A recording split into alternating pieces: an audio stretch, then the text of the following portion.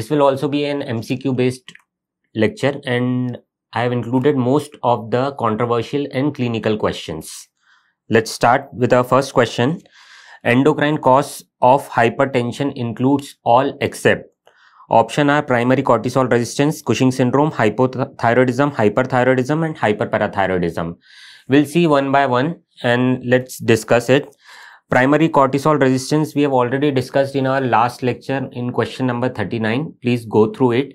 Here we have glucocorticoid resistance and there is a reset point and the cortisol increases and it acts on the mineralocorticoid receptor, thereby causing hypertension. So primary cortisol resistance or glucocorticoid resistance or Chrousos syndrome that we have already discussed. Okay, Cushing syndrome, you know when there's increased cortisol, 11 beta HSD2 is overwhelmed. The enzyme is uh, overwhelmed. So they, it cannot be inhibited. The cortisol is not converted to cortisone that much and cortisol acts on the mineralocorticoid receptor. So Cushing syndrome obviously is a cause of hypertension in both ACTH dependent as well as ACTH independent, both. Okay hypothyroidism and hyperthyroidism. These two are also causes of systemic hypertension. How is it so? The mechanism is that hypothyroidism, okay, it increases the volume and also it increases the systemic vascular resistance. Regarding hyperthyroidism, it increases the sensitivity of catecholamines. Okay, so these two are also cause of endocrine hypertension. This is obviously a cause. Hyperparathyroidism as such directly does not cause hypertension. But what happens that in hyperthyroidism, hyperparathyroidism, there is increase in calcium. So this increase in calcium increases the vascular reactivity and affects the kidney function. So by these two mechanism, it can also cause hypertension. So this is like plus minus. If see the choices, what are the choices given in the question? It can be considered as a cause of endocrine hypertension as well as it cannot be considered. You have to see the options and therefore uh, mark accordingly. Here I have uh, shown the chart which is given in Williams. Here you cannot see hyperparathyroidism. Okay. AC uh, adrenal dependent causes we already know that pheo is a cause primary hyperaldosteronism and DOC dependent all these are causes. This is the primary what we are going to discuss in today's lecture. Other than that Cushing's and primary cortisol resistance we have already discussed. This is a cause of endocrine hypertension. AME or SAME syndrome of apparent mineralocorticoid excess where there is 11 beta HSD deficiency okay it can be either genetic or acquired. This also we have discussed in our last lecture. Then thyroid i have already told both hypo and hyper causes endocrine hypertension. Then renin secreting tumor obviously renin will increase aldo will increase. So it is an hyperaldosteronism and hyperreninic state Pituitary dependent, we have two causes, Cushing's and acro. Cushing's we know. In acromegaly, what happens? Just understand the mechanism so you would be better able to remember all these things. There is increase in GH and IGF-1. This causes increase in volume. This increase in volume is due to anti-natriuretic effect okay due to anti-natriuretic effect there is increase in the volume. Other than that there is insulin resistance lvh and sleep apnea.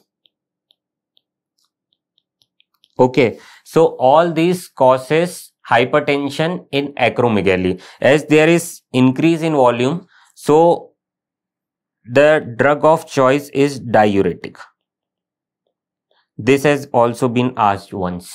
Coming to question number two, which of the following enzyme catalyzes the rate limiting step in catechol synthesis? We have already seen that in steroid synthesis, it is the star and in catechol synthesis, what is the rate limiting step? it is tyrosine hydroxylase. Okay, just see the basic pathway. There are many questions asked from it. From phenylalanine, we have tyrosine. From that, we have dopa to dopamine, norepinephrine, then epinephrine. Okay, here we have phenylalanine hydroxylase, tyrosine hydroxylase, dopa decarboxylase, dopamine hydroxylase, and PNMT. The question is asked that which amino acid is uh, in the this pathway. So usually the answer is tyrosine. This has been asked. Rate limiting step, obviously this is being asked. Then what is asked is regarding this PNMT that is phenyl phenylethanolamine N-methyl transferase. What are the question? That this is present only in adrenal if we have extra adrenal pheochromocytoma or paraganglioma, I'll uh, let you know what are the basic differences and how the terminologies are used. So anything outside adrenal, we don't have this enzyme. So this conversion is not there. So epinephrine is not the major product. From epinephrine, the metabolites are metanephrine and from uh, this we have normetanephrine. Okay. So usually they are metanephrine secreting from the adrenal okay this is being asked many times then one more question is asked that cortisol has a positive that is inducing effect on this PNMT. This is also asked many times. So it is present only in adrenal and cortisol from the cortex has a direct action on this. And the product from the adrenal pheochromocytoma, it is metanephrine or epinephrine, whatever the options are given. Coming to question number three, a 30 year female presented with panic spells and physician without having a biochemical diagnosis got her CT scan which showed tumor in head and neck region. It was later found to be dopamine secreting paraganglioma. Which of the metabolite would be detected in this patient? This is asked in AIIMS super specialty maybe in uh, 17 or 18 somewhere it was asked. Option were uh, not a uh, similar question the basic was same. Okay so metanephrine normetanephrine homovanillic acid and vanillyl mandelic acid. These are the four options so usually what happens as soon as you see paraganglioma, you directly jump to normetanephrine. But the answer here is not normetanephrine. See, for this you should know what is the basic metabolism. Okay, so catecholamine metabolism which usually occurs in the tumor itself. From epinephrine, we have metanephrine. From that, we have vanillyl mandelic acid. And from dopamine, we have homovanillic acid. And in the question stem, it was written dopamine secreting paraganglioma. So this is the catch here.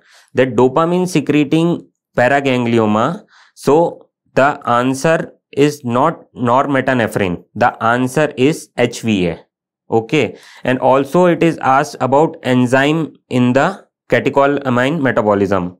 So these are two COMT that is catechol O-methyl transferase and MAO monoamine oxidase. These two enzymes are involved in the metabolism of catecholamine. This is being asked in various exams. Coming to question number 4. Which one of the following correctly describes catecholamine content of the adrenal medulla? Adrenaline less than 1%, noradrenaline 99, adrenaline 20, noradrenaline 80, adrenaline 50 norad 50 adrenaline 80 norad 20 and adrenaline 99 and noradrenaline less than 1 okay so answer here is adrenaline is 80% and noradrenaline is 20% from the medulla. Okay one more mcq i have told you previously that the medulla is 20% of the total adrenal and cortex is 80% of the total adrenal. Okay. And this medulla secretes 80% adrenaline and 20% noradrenaline. So these both MCQ are being asked previously. Now coming to basic terminology, there is uh, interchangeably they are using it and it makes very much uh, confusion create uh, is being created around this so first see what is the basics so all these are chromaffin cell tumor. Okay. If it arises from adrenal medulla we call it pheochromocytoma. If it arises from sympathetic ganglia, okay, we call it paraganglioma. Sometimes this pheochromocytoma is also labeled as intraadrenal paraganglioma Sometimes this paraganglioma is referred to as extraadrenal pheochromocytoma. But this term should be used.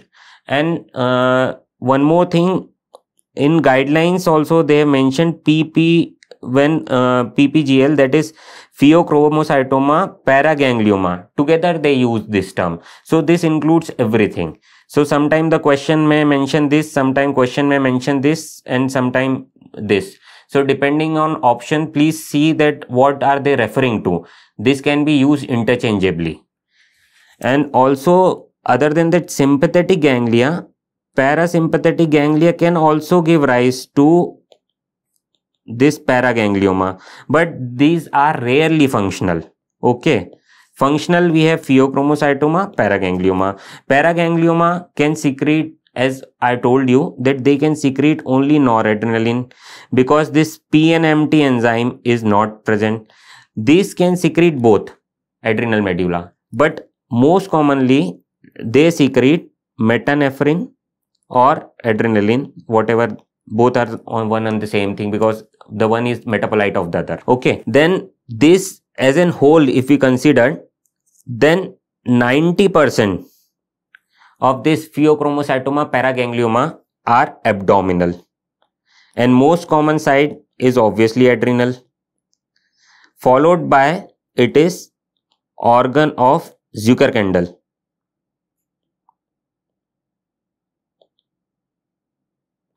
This question has been asked that what is the most common site of extra adrenal pheochromocytoma or paraganglioma so the answer is organ of Zuckerkandl.